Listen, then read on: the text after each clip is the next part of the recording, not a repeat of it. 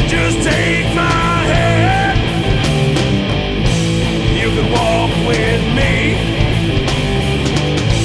through forbidden